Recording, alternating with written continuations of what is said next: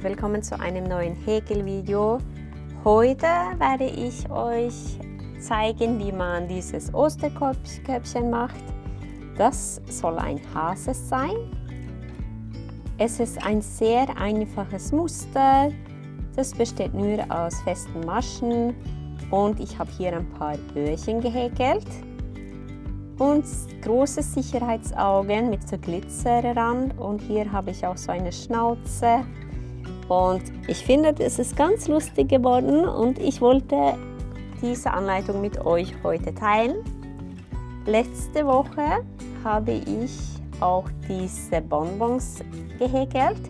Da gibt es hier auf meinem Kanal, das kannst du dir auch anschauen und nachhäkeln. Und diese Bonbons kannst du auch hier in diese Körbchen tun. So etwa kannst du mehrere häkeln und auch da Süßigkeiten reintun und was schön, die Kinder was Schönes für Ostern schenken. Auf meinem Kanal habe ich auch, habe ich auch diese große Hase. Diese Anleitung gibt es in drei Teilen und da kannst du auch diesen großen Hasen auch nachhäkeln. Wenn du eine andere Wolle benutzt, dann wird auch das ein bisschen kleiner alles. Aber das ist auch so eine Idee, was ihr alles für Ostern häkeln könnt. Ich habe auch eine Möhre gehäkelt, ich habe Osterküken und Osterhühner und alles Mögliche. Und das ist auch eine Idee. Da gibt es auch nur auf meinem Blog. Das ist eine schriftliche Anleitung. Aber das ist auch ein süßes Oster, Osterente.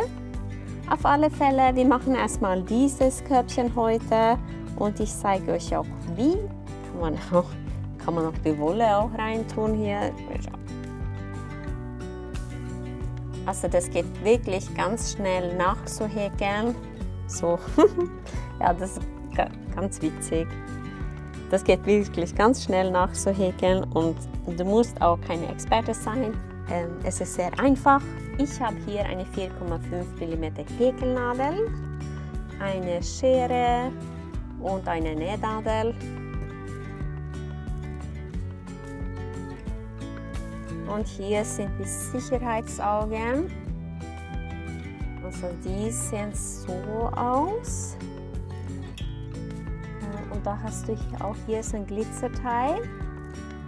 Manchmal kommt es auch so, da musst du einfach hier diese Teil hier weg tun und die so drauf tun und hier einfach hier so aufeinander drücken. Das einzige Kritikpunkt an denen, also die sehen sehr schön aus, aber ich habe auch erlebt, dass ich kann das irgendwie nicht gescheit reindrücken und da sind sie auseinandergefallen. So pass ein bisschen auf mit denen, aber die sehen sehr schön aus.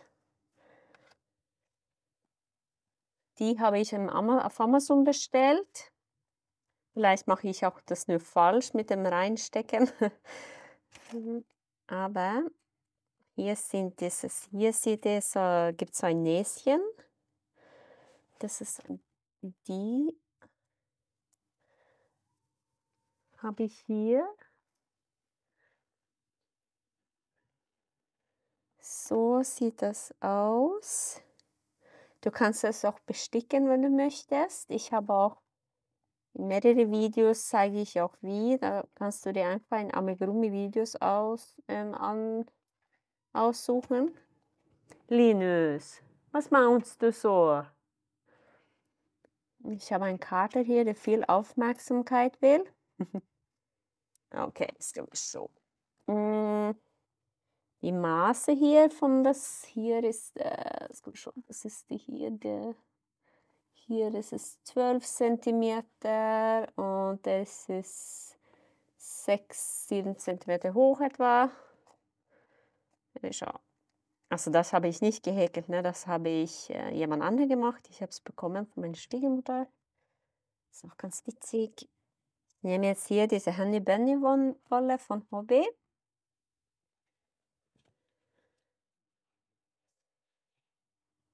Kannst auch natürlich Baumwolle nehmen. Alles Mögliches. Wenn ihr was nachhäkelt von mir, dann würde ich mich freuen, wenn ihr das Ergebnis mit mir teilt. Kannst mich auf Instagram finden oder auf TikTok. Auf was gibt es noch? Auf meine E-Mail oder Facebook. Ich habe auch eine Facebook-Gruppe, das heißt Janil Crochet Club. Das ist Englisch und Deutsch. Aber ich, ich versuche jetzt hier aus der Mitte ein bisschen Wolle zu holen. Okay, dann fangen wir an mit einem magischen Ring. Wenn du nicht weißt, wie es geht, habe ich auch ein ganz einfaches Video dazu, wo du einfach vier Luftmaschen häkelst, das zu einem Ring schließt und du häkelst einfach hier in den Ring. Aber ich zeige euch jetzt wie, du brauchst auch nicht die Wolle so halten wie ich. Hauptsache, du hast hier etwa so, dass du hier einen Ring hast und hier, du kannst auch so machen, ja. Und hier hängt dein, der Faden für den Anfang. Ich tue hier die Nadel steckt sie rein. So, und dann mache ich eine Luftmasche, um den Ring zu sichern. Und hier ist ein magischer Ring. Und in diesem Ring werden wir acht feste Maschen häkeln. Eins, zwei, drei, vier, fünf, sechs, sieben und acht. Und jetzt bin ich fertig. Ich tue hier eine dran ziehen. Und du siehst hier von hinten 1, 2, 3. Ich weiß, es ist ein bisschen schwierig für euch vielleicht zu sehen, aber 1, 2, 3, 4, 5, 6, 7 und 8. Dann lege ich einfach hier meinen Maschenmarkeur und ich stecke die Nadel direkt in die erste Masche und häkle hier zwei feste Maschen. Eins und zwei. Ich häkle zwei Maschen in die erste Masche und in jede weitere Masche. Das heißt, zunehmen,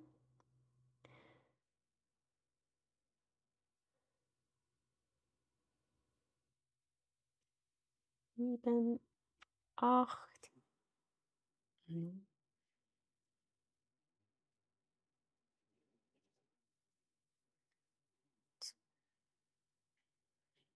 dreizehn, vierzehn und hier sind die letzten zwei, 15 und 16. So, jetzt habe ich hier 16 feste Maschen. Kannst du auch zählen. 1, 2, 3, 4. Du zählst diesen Faust, ne?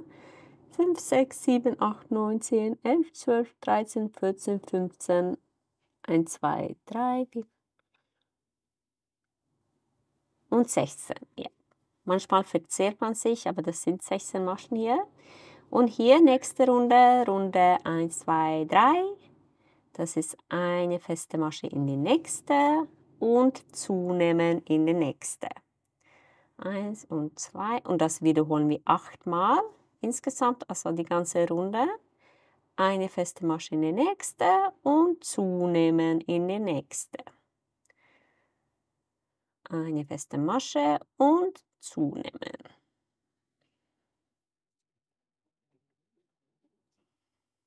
So fängt eigentlich immer meine Muster an, eine feste Masche und zunehmen in die nächste.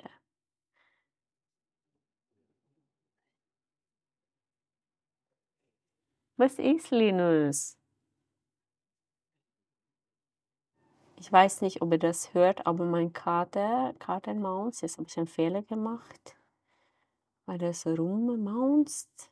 Eine Tiere ist Zunahme.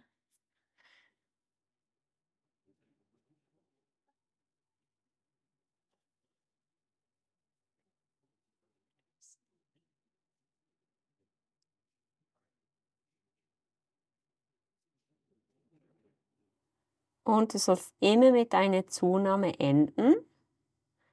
Eine feste Masche und zunehmen in die letzte.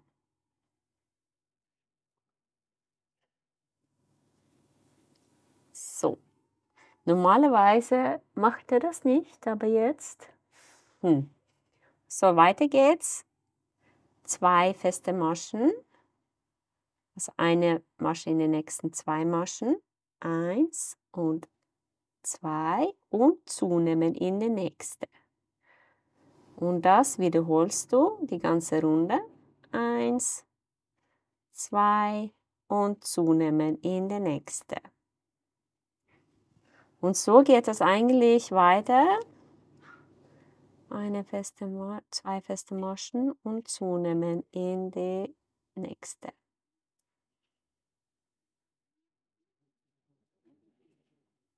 Und so häkelst du einfach in diese Richtung weiter, bis du zufrieden bist mit der Größe.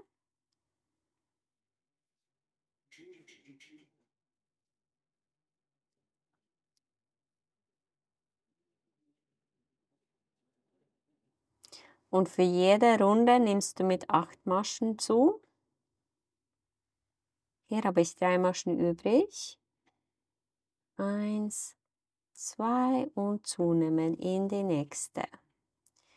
So, geht's weiter. Nächste Runde machst du drei feste Maschen und zunehmen in die vierte. Wiederholst du die ganze Runde.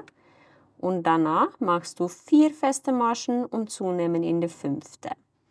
Das werde ich jetzt machen und dann sehen wir uns später. Dann hast du 8, 16, 32, 40, 48 feste Maschen am Schluss. Stehst du? Also hier nächste Runde drei feste Maschen, zunehmen in der vierte, wiederholst du die ganze Runde. Dann vier feste Maschen und zunehmen in der fünfte, wiederholst du die ganze Runde. Und so kannst du einfach weitermachen also das ist äh, in, in diesem Muster, ja, da machst du, wenn du das noch größer willst, dann machst du sechs feste Maschen und zunehmen in die siebte und so weiter. Und dann, das werde ich machen und dann treffen wir uns später. Jetzt habe ich 48 feste Maschen. Also ich habe mit 8 angefangen, zugenommen in jeder Masche, 16 Maschen, und zugenommen in jede zweite 24, in jede dritte 32 und in jede äh, vierte 40 und hier in jede fünfte 48. So, das sind 48 feste Maschen und das wird etwas so groß, wie ich euch am Anfang gezeigt habe. habe. So, wenn ihr das kleiner oder größer, dann macht ihr einfach weiter hier, so wie ich es erklärt habe. Du nimmst einfach in jede nächste Masche zu. Also hier hast du 1, 2, 3, 4 Maschen inzwischen. Also du hast zugenommen in jede fünfte Masche. Deswegen musst du zunehmen in jede sechste Masche in die nächste Runde und die nächste Runde danach ist zunehmen in jede äh, siebte Masche und so weiter.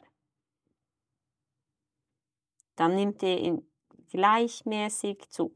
So, jetzt müssen wir hier diesen Faden vernähen.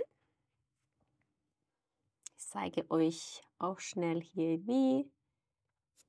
Dann gehe ich einfach hier durch das obere Teil, nicht ganz durch und nähe hin und her so.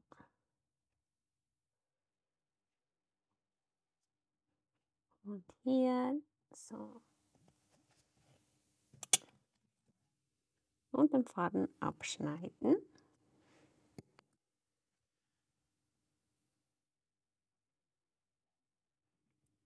Jetzt werden wir eine feste Masche in jede Masche häkeln. Die nächste Runde, da werden wir nur in das hintere Maschenglied häkeln. So hier ist das vordere Maschenglied und hier ist das hintere und ich stecke einfach hier nur die Nadel in das hintere Maschenglied rein und mache hier meine feste Maschen. Weil dann kriegst du hier eine kleine Kante. So. Das hintere Maschenglied in jede Masche die ganze Runde.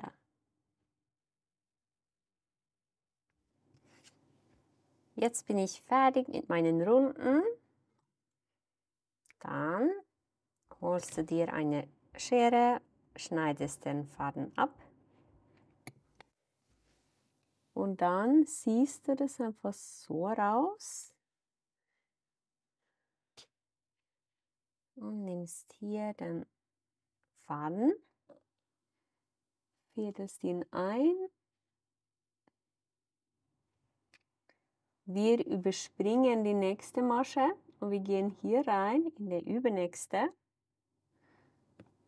Und dann gehen wir zurück in das hinterste Maschen, hintere Maschenglied von die Masche wieder, wo du aufgehört hast. So, und so kriegst du einen schönen Abschluss. Und jetzt müssen wir nur diesen Faden vernähen.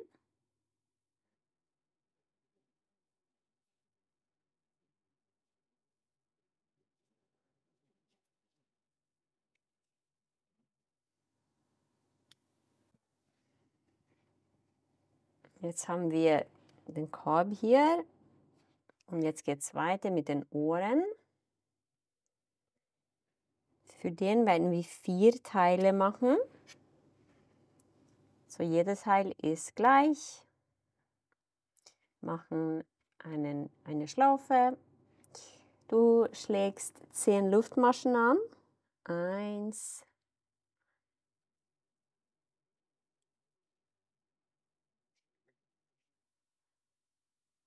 acht, neun und zehn. Und jetzt häkeln wir eine feste Masche in jede Luftmasche. Du hier gehst in die zweite Luftmasche von der Nadel raus. Und dann häkeln wir hier in jede Masche eine feste Masche.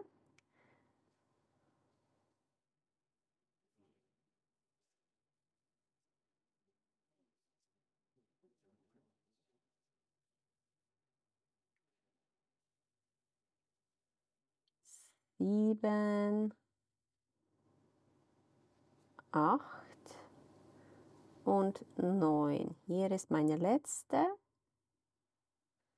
So, eine Luftmasche wenden. Und hier werden wir eine feste Masche häkeln in den nächsten acht Maschen. Eins, zwei,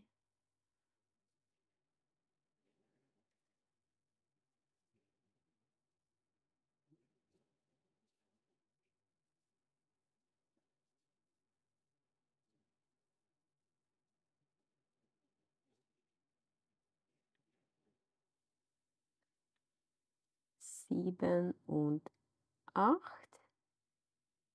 Ah.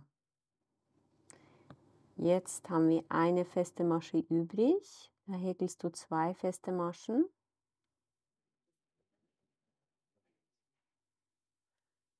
Eins und zwei. Statt zu wenden, werden wir hier einfach hier weiter hier nach unten häkeln. Du gehst hier in diese Schlaufe und da häkeln wir zwei feste Maschen. Eins und zwei. Und jetzt geht es weiter. Eine feste Masche in alle Maschen hier bis zum Schluss. Eins, zwei, drei, vier, fünf, sechs, und 7. So, und wenn du fertig bist, schneidest du einfach hier den Faden ab und du häkelst noch drei weitere solche Teile. Also wenn du zwei gehäkelt hast, dann brauchst du den Faden nicht so abzuschneiden an den zweiten Teil, sondern du nimmst die einfach so und legst sie aufeinander und die werden wir jetzt zusammenhäkeln. Und lass dich nicht irritieren von diesen Faden. Wir werden einfach die ignorieren. Kannst du eine Luftmasche machen am Anfang und du häkelst hier durch beide Teile. Einfach hier. Und schau, dass die richtige Seite nach außen zeigt.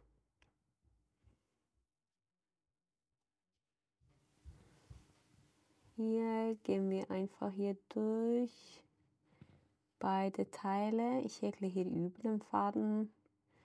Du musst das auch nicht machen. Du kannst einfach hier auch später das vernähen.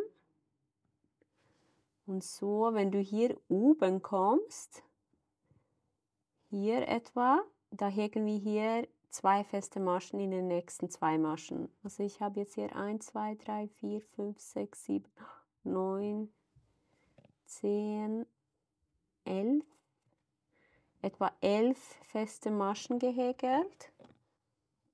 Aber du musst einfach hier häkeln bis oben, bis nach oben. Und hier nehme ich, häkle ich einfach zwei feste Maschen, einfach damit es nicht so Einfach damit es ein bisschen schöner fällt. Und hier, du kannst auch hier in die nächste zunehmen, ja, das ist auch vielleicht schön. So, damit das Ohr hier ein bisschen größer hier oben. Und jetzt hier weiter mit einer festen Masche in jede Masche.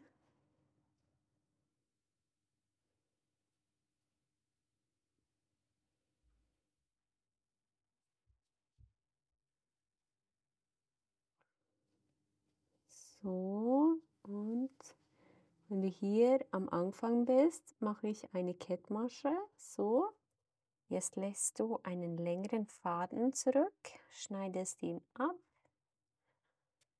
Und dann machen wir einfach so. Und die hier kann ich einfach vernähen. Die kleineren reinstecken, einfach so. Das ist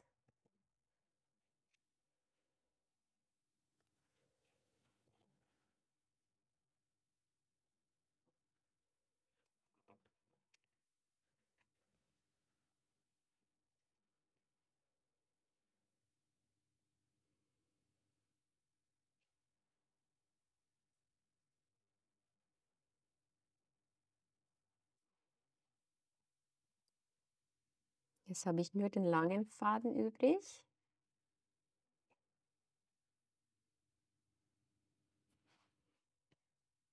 So. Und das ist der Unterteil vom Ohr. Ne. Mache ich einfach so. Und jetzt werden die nächst einfach so hin und her. Ein paar Mal. So. Und dann lasse ich den Faden einfach so sein, damit wir das später an den Korb vernähen können. Und jetzt machst du noch so ein Ohr. So, jetzt werden wir hier das Ganze zusammenbringen. Ich probiere einfach hier eine Stelle die Augen zu befestigen, tue etwa hier in der Mitte 1, 2, 3, 4, 5, 6.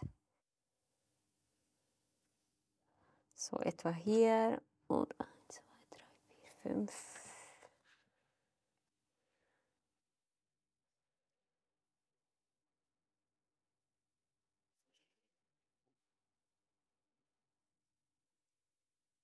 Sind sie etwas schief?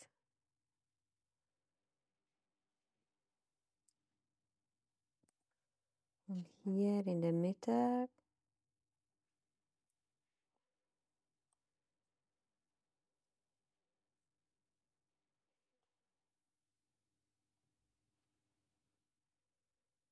Ja, denke, dass es passt.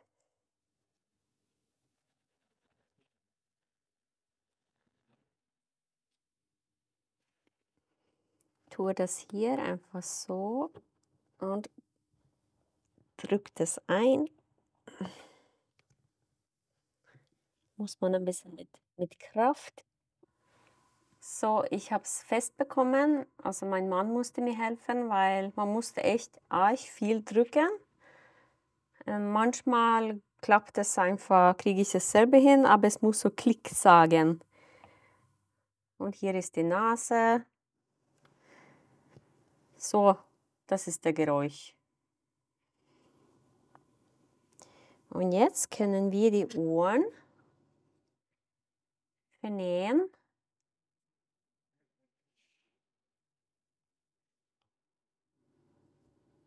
Weil wir hier nur eine, also hier ist es recht dünn im Vergleich zu wie die Ohren sind. Deswegen, ich suche mir die Stelle aus neben über den Augen und gehe hier einmal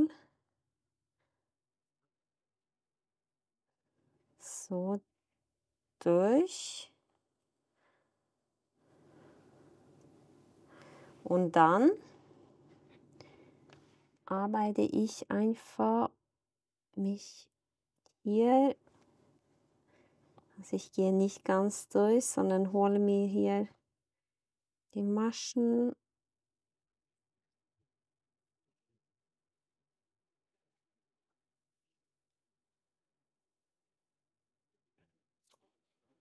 so etwa.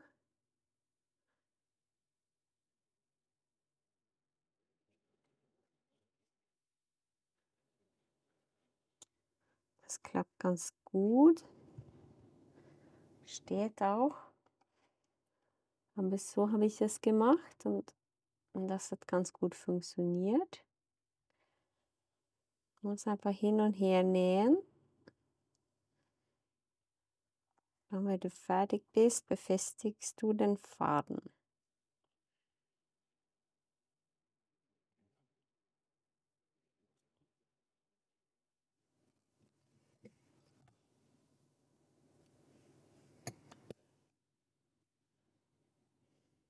Jetzt mache ich das gleiche hier.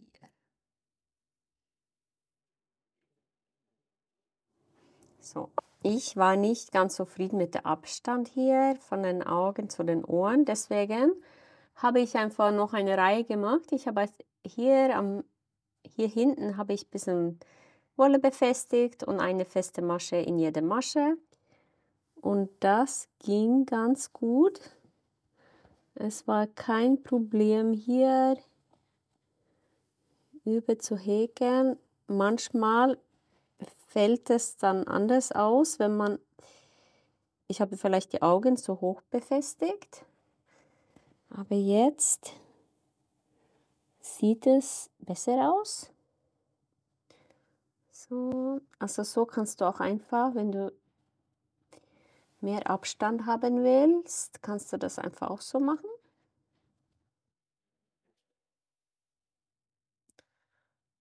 So. Und jetzt werde ich hier einfach befestigen, so wie ich es vorhin gezeigt habe.